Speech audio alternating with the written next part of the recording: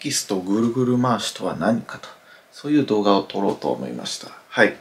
でテキストぐるぐる回しという勉強はです。勉強方法は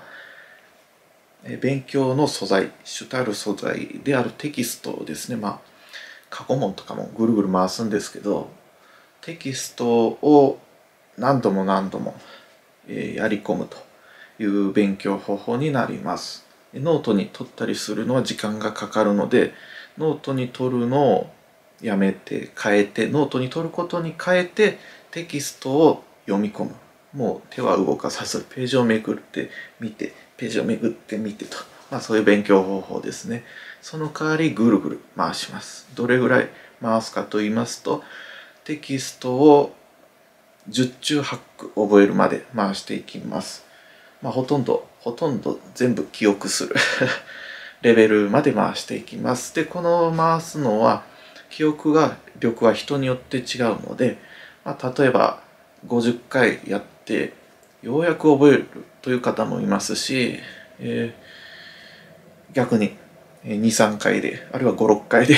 テキスト11冊かな、まあ、10冊前後のテキストを全部覚えてしまうというような天才もいると思うんですけど僕は天才ではないので あの普通に何十回も読み込みましたでこのテキストぐるぐる回し僕が一応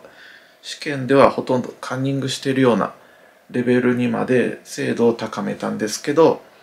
うん、それまでにかかった回数が前の動画というか初めの方の動画でもお伝えしたんですけど30回近くかかりました。というわけでこのテキストぐるぐる回しはテキストを何度も何度も回すという勉強方法になります。そしてテキストぐるぐる回しはですね、最初はテキストは例によってインプットとして使うのですが、勉強が進んでくるとインプットが少なくなってきてアウトプットとして用いるようになります。そして最終形態。最終形態というのは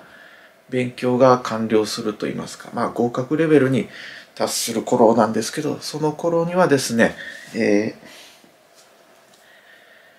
ー、うん、もはやインプットとしては用いらずにアウトプットとそれから確認として用います。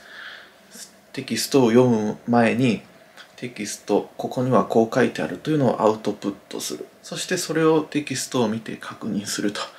いう方法ですね。一見時間がかかるんですけど何度もぐるぐる回していくとどんどんどんどん効率が良くなってきてまるで循環 がスムーズにいくような感じになるので割と早く思ったより早く進めることができます。それを利用してぐるぐる回せるだけ回すと。試験の前の日までぐるぐる回すと。そういう勉強方法になります。はい。というわけでまた機会があれば、え別の動画でこれを少し見ていこうかなと思います。はい、ありがとうございました。